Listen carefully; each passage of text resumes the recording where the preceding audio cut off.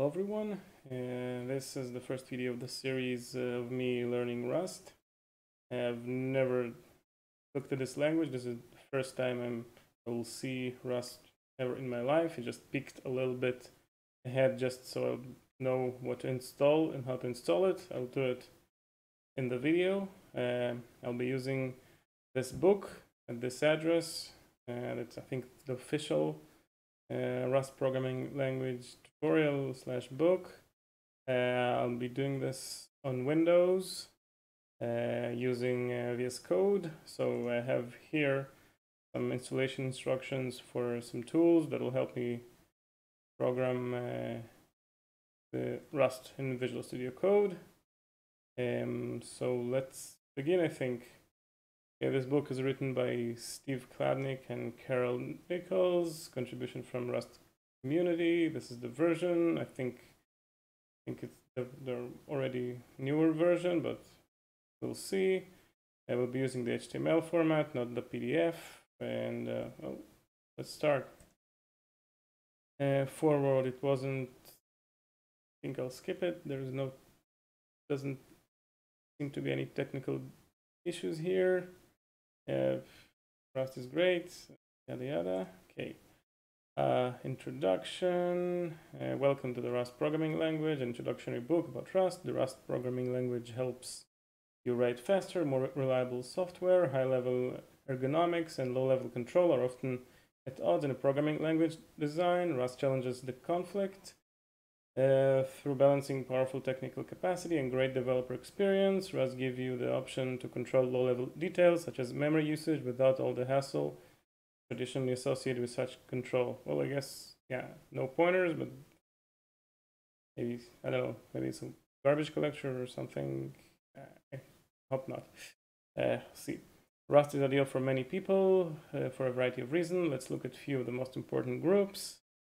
Uh, teams of developers, students, comp okay, this is just too too general. It's, I don't know, open source developers, uh, people who have, oh yes, is very specific. I think we should, okay, how to use this book in general. Books assume that you're reading it in sequence from front to back. Later chapters build on concepts in earlier chapters, okay? And earlier chapters might not delve into details on a particular topic. Uh, we might use Google for it, I don't know. Um, maybe I'll be interested in something that's not in the book, but we'll see. You find two kind of chapters in this book, concept chapters and project chapters. In concept chapters, you'll learn about an aspect of Rust. In project chapters, you'll build small programs together, applying what you've learned so far. Chapters 2, 12, and 20 are project chapters. See, blah, blah. Okay, uh, after I'm finished with most of the book, I'll try to do some, uh, you know, Advent of Code programs or some small projects without the help of this book, just to see how I manage with, the concepts, to see if I like the language or not. Um, okay, chapter 5 discusses structs and methods. Chapter 6 covers enums. Okay, it's just... Uh, okay, I, I don't think... Okay, uh, this code does not compile. This is, yeah, different icons. Okay, I think uh, there's the source in GitHub. I think in later chapters, maybe it will be relevant. I guess like in can first two, three chapters we talk about like control flows and and variable assignment less relevant. Oh, we'll see. Okay, getting started, installing Rust, and okay, well let's install Rust, then write a hello world. And I think I'll use Cargo. I heard that Cargo is like the way the package manager for Rust. So I'll skip the um, manual uh, uh, compilation just because I think that the tools that will have a VS Code uh, work with Cargo and I don't want to set up a compile script just for five minutes and then switch into cargo. Well, but we'll see. Okay, installation. Uh, yeah, first step is to install Rust. We'll download Rust through Rustup, a command line tool for managing Rust versions. Okay, so how do I get this Rust tool? Okay, we're on Windows, so I'm gonna go here. I'll down, download the Rustup init. Uh, install. Okay. Uh, okay. So now after Rust is installed, then I uh, close and open the PowerShell again. We can have the check the version Rust verify that it's installed Rust C this version. Yeah, uh, installed. It's a newer version than the version in the book, uh, but I think we'll manage with it. So let's go back. Uh, yeah, this is the, check the version. Um, updating and uninstalling. Let's see if there's an update. Um, okay. Uh, I think we have the latest version. Yeah, good. No update for us. So let's go forward. This is the hello world. As I said before, I think because I picked a little bit ahead, I think this is the hello world just uh, for manual compilation. Let's try it. Let's try it without VS Code just to um, just to see how the language is. Um, let's uh, make a directory called hello world uh, hello just hello uh, and then go into the directory um, we'll make a file wait i'll open code just to create a, a file here. File name do.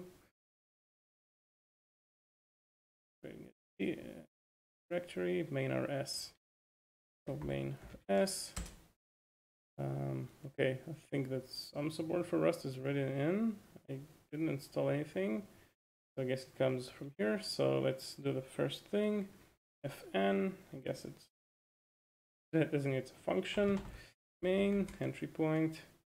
I like to do curly braces like this, print a line. Uh, okay. You know why the exclamation mark? They'll tell us. We'll do some hello world. Let's follow it to the letter.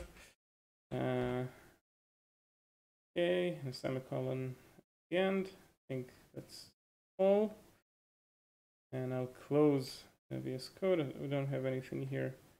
Good. Okay. Close VS Code. Then I come to compile Rust C and main. Press. Good. Okay. Looks like it filed. Great. Let's run main. So basically, the, the antivirus was not happy with the the Rust uh, Hello World program, so I had to exclude this directory and uh, I renamed the file to hello rs because they had some, I don't know, something glitchy about compiling to main.exe. So now let's try to compile again. Created a hello exe. Let's try to run it and we have hello world finally. After 10 minutes of troubleshooting. Okay. Sorry. Okay, so now let's move forward.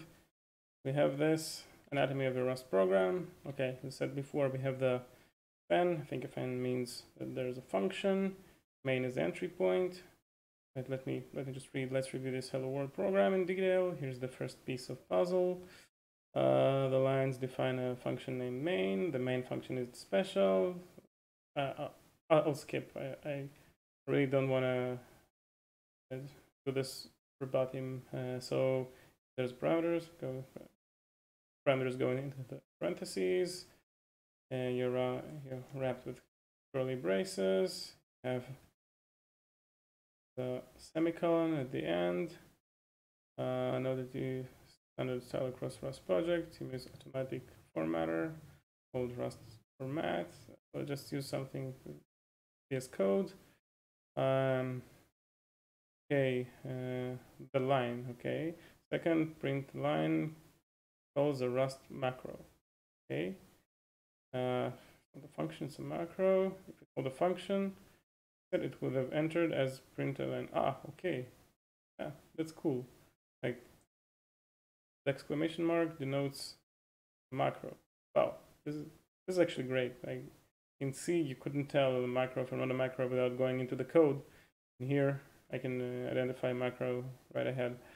Okay, let's see, prints hello world, semicolon at the end.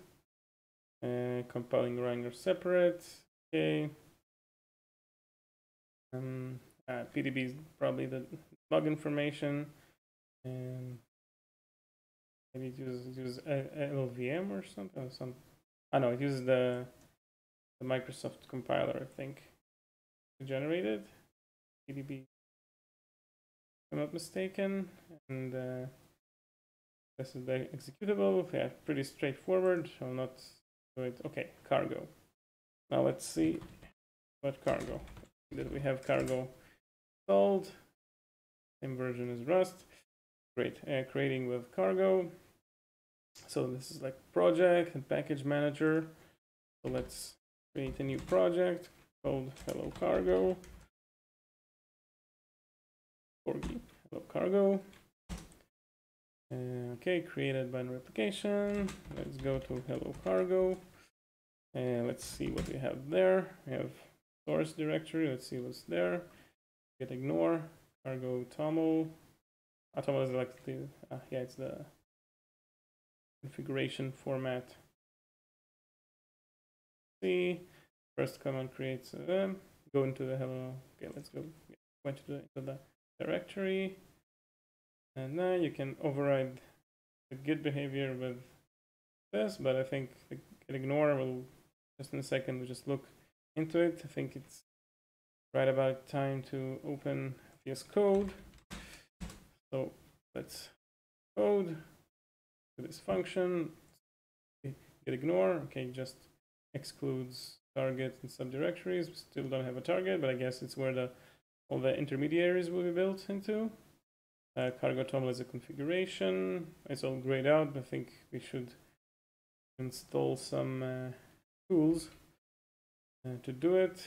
Just a second. Let's see if there's something in source. There's the main. Okay, it's the standard hello world.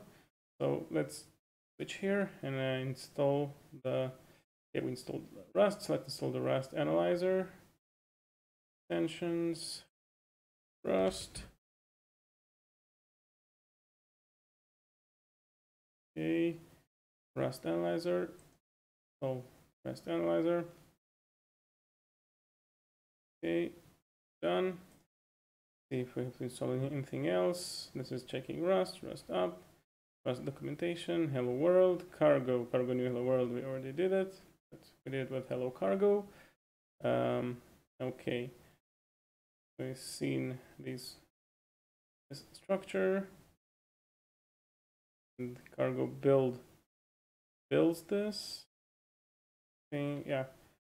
Yeah, let's let's do some playing around with it. If I do cargo build, let build. Okay, finish building. Let's try shortcut if it works. Okay, uh, cargo build. Okay, that's good. Now we can build with sh shortcuts. Uh, let's try to debug and then I'll move to looking at into this files. Okay, created a new file, but first I want to see if I can uh, do a breakpoint and then debug. Okay, uh, so it's run. Okay, what should I choose? Do I need to install something? Okay, this is cargo run is to run, but no automatic run here. So let's just use Windows because I saw the PDB file. This program does not exist. Interesting. LDB work doesn't like it. Well, uh, Let's try to install extension for Rust. Okay, I have no idea what to do, uh, so I'll pause the video, do some searching, let's see, debug Rust in VS Code. Same thing, right? So debug, debug, world, oh, debugging, okay, was down the line. So install debugging support. I need Microsoft C++. Let's see. There's yeah, I think I have this because of am programming in C this machine. So yeah uh, so okay this is installed. I need some update. No no need for update. Great. So okay what's next? Have this installed. Okay using Rust Analyzer debug. Let's start debug okay and just need to set a breakpoint. Okay, it did set a breakpoint. Now we have to go to the settings. Okay, for the settings. Here, settings, it maybe. Where the settings at?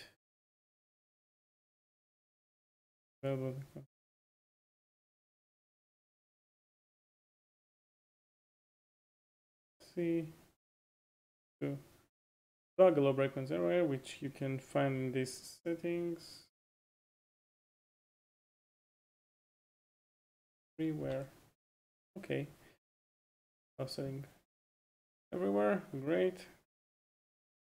Now it should work. Okay, so which one do I choose? Ah, that's weird. Okay. Okay, so um, I think those that program doesn't exist. Open launch JSON and I don't have a program, so I just add configuration, have something in Rust here.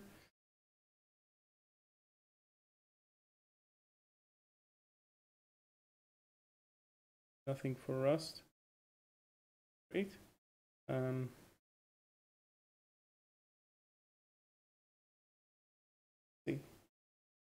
Problem. First to set a breakpoint. Okay, we did this.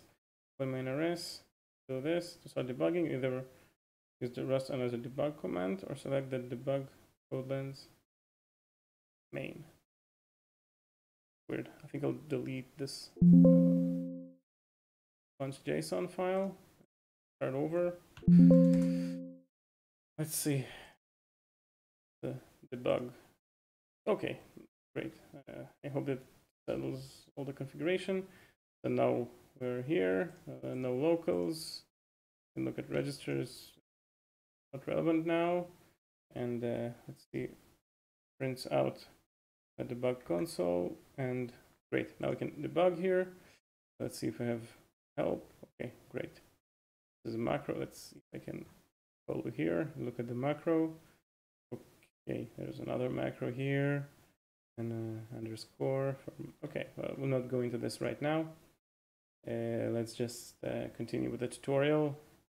So now we can debug we can build but let's see what happens if I run again. 5 doesn't help it so maybe line I'll try to see what can generate. In the, in the meanwhile we'll just debug it like this. Um, yeah. So if I do run Hello world, okay. Let's move forward. Sorry for taking so long. I really didn't look at anything. Uh, first time I'm doing Rust. Okay, IntelliSense works okay. Hints, okay, great. Hover information, yes, everything. Auto completions, semantic highlighting.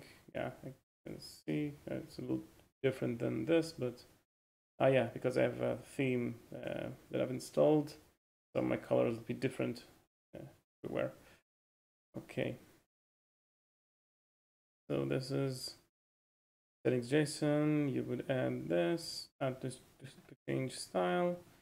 Okay, this is navigation, linting. Okay, there's a linter already. Quick fixes, great. Factoring, formatting, debugging. Okay. Ah, this is the debugging section we already looked in. Great. Okay, I think I think we're ready to go forward. So where we stopped, we ran the file, we debugged it, like we could step into this program. So let's go back and look at the file structure that we have. I think we had the git ignore in the beginning that excludes this directory. Uh, we had the cargo toml still not highlighted. Let's see if I have something to highlight toml files I can install. Uh, better to see, but install this. Oh, and let's look at this. Okay, now there's a little bit of coloring here. Okay, so we have the package. I think it identifies the package, name of the package, version, um, and edition. Edition. See, like this. Uh, the first line of the package is a section heading that indicates that the following statements are configuration of the package. Okay, as we add more information to the file, we'll add other sections. I hope that the cargo will do this automatically. Uh, the next three lines set the configuration information cargo needs to compile your program. Uh, the name, version, and the edition of Rust. Oh, okay, so this is the version of the program that I'm using, and this is the edition of Rust. I guess each edition has breaking changes, some unique changes then that you have to look out for. Okay. Um, we don't need any other crates for this project, but we will use in uh, in chapter two. Great. So ah, okay. So crates probably something like uh, dependencies, uh, other programs. Um, I wonder if it's like open source or closed source. Uh, we'll see. Uh, first thing uh, we'll include here, I'll try to see if there's open source, just so I'll know what we're uh, getting into. Okay, so Cargo has generated a Hello World program. Yeah, we saw that. Um, cargo expects our source code to be in the SRC folder. Okay, correct. Uh, we start a project that doesn't use cargo, as we did with the Hello World in uh, the beginning. You can convert it to a project that does use cargo, move the project code into SRC directory, and create an appropriate cargo toml file. Okay, so as I see, for a cargo project for us, you just need a SRC folder and a toml uh, file that describes the project. Um, okay, yeah, dependencies here, I think the future dependencies in chapter two. Uh, okay, so building cargo project. Okay, we did cargo build, and let's let's just do it again to go over here. Uh, this PowerShell. Okay, we have the cargo build from before.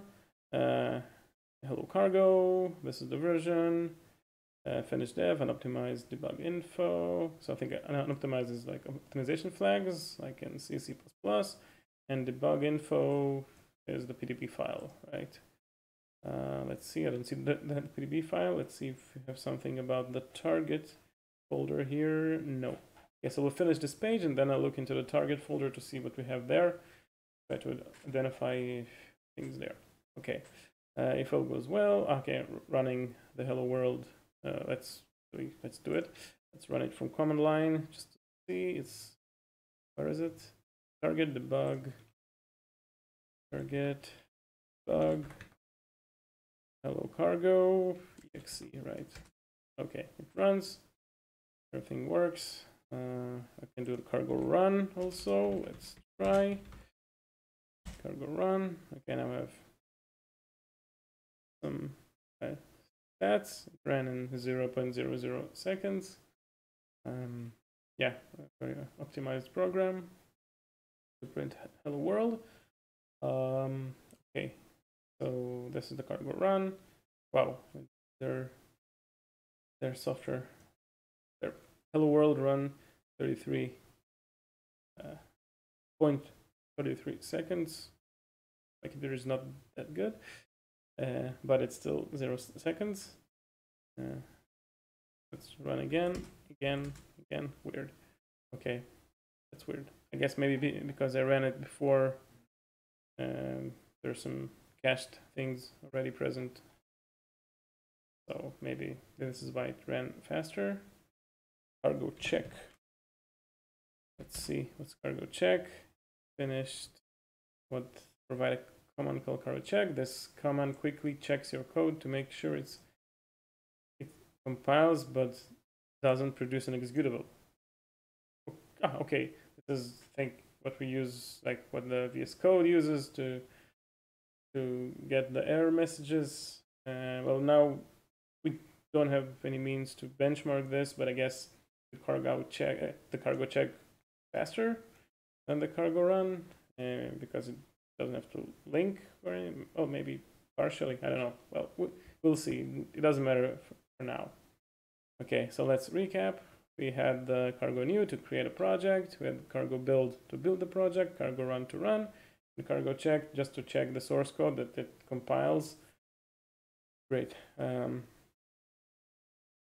uh, okay, so instead of saving the result of the build in the same directory as our code, cargo stores it in the target debug directory. Um, and okay, it's same for building and running uh, independent of the OS. This is great, but I'm not going to try to do it on other OSs. Maybe I'll do some Linux, but really I don't want to test the uh, like the different OSs unless I have to because it probably works. I don't have any reason to suspect that it will not work, especially with this basic uh, tutorial. Uh, okay, building for release when your product is finally ready to release, you can do cargo build dash dash release to compile it with optimizations.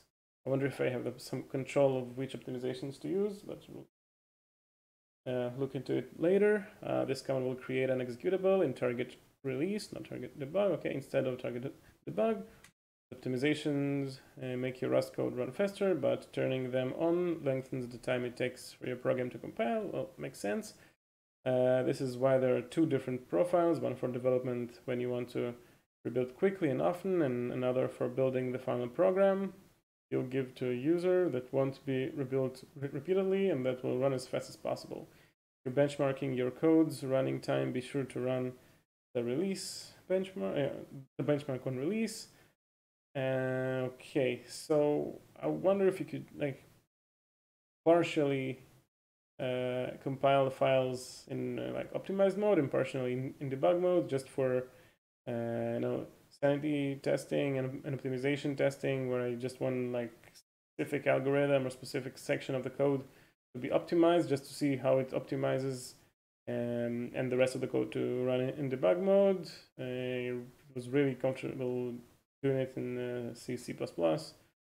Uh, but uh, we'll see. We'll see if I even need it because people say like it's language that uh, makes it uh, like I don't know easier to write these sort of uh, programs. So uh, let's continue. Uh, so Cargo is a convention. Uh, with simple projects, Cargo doesn't provide a lot of value over just using Rust C. Yeah, but it will prove its worth as your program becomes more intricate. Once program grow to multiple files or need a dependency, it's much easier to let cargo coordinate the build. Yeah, uh, I think I agree with that. Even though the, car, uh, the Hello Cargo project is simple, it now uses much of the real tooling you'll use in the rest of your Rust career. Uh, in fact, to work uh, on any existing projects, you can use the following commands to check out the code using Git and change uh, change to that project directory and build. Uh, okay, well, well, use some Git. I don't think that for the first couple projects, couple like couple chapters, we'll use Git. Maybe when there's something uh, more intricate, we will. But yeah, the, I don't see the reason to use Git right now, especially since like I'm not doing anything special with the code. It's just be just the boilerplate that the chapters will have. Uh, okay, so to summarize, we installed the latest stable version of Rust using RustUp. Well, not no, because we used Windows, but update uh, to your Rust version. We're up to date. Open local installed documentation. We didn't do this. We're using the online documentation. Uh, write a hello world and use Rust C. Uh, yeah, we had uh, an antivirus thing. It pinged the executable when I tried to run it. I had to exclude the the folder, so I don't know about this if it works for everyone. Uh, and uh, using cargo, I think I'll from now on I'll use cargo, but I do want to uh, step into the target folder just after reading these three sentences and uh, and we'll see what's there. Uh, this is a great time to build a more succession program to get used to reading and writing Rust code. So in chapter two, we'll build guessing game program. If you'd rather start by learning how common programming concepts work in Rust, see chapter three and then return to chapter two. Okay, we'll peek into chapter two, see what's there, and uh, then we'll continue. Okay, so let's go to the uh, target. Okay, we have cache dir tag uh, looks like just a hash function for now. This file is a cache directory tag created by Cargo, like this. Uh, uh, you can go here to read about caches. Okay, it's I don't, I don't think I'll do it right away. I think it'll be a little boring. Uh, REST info JSON. Okay, we have some information, the hash, the commit hash, version information, oh, ooh, some linking things, out, rlib. I think this is the standard, probably something standard library here. Some libs, some DLLs, some toolchain. Okay, this is I think like information for the compiler. And with the debug, whew, a lot of files. We have the debug file, the debug source code uh, link, uh, cargo lock. Okay, it's probably just a log file, the executable, and probably some info for incremental builds. Incremental builds, sorry. Uh, examples don't have dependencies. Okay. Uh, build folder and a fingerprint folder. Okay. A lot of hashing, a lot of intermediary uh, things. I think I don't know what the examples are, but we'll see. Yeah, I think I'll never have to go into this folder, fix things just to run the, the executable. Uh, so, great. So I think I'll stop the video for now. And um, next video we'll have uh, the chapter 2, or uh, we'll, do chapter 2 and 3 together. I think it'll be a little shorter because I really didn't know what's happening. So uh, see you in the next video.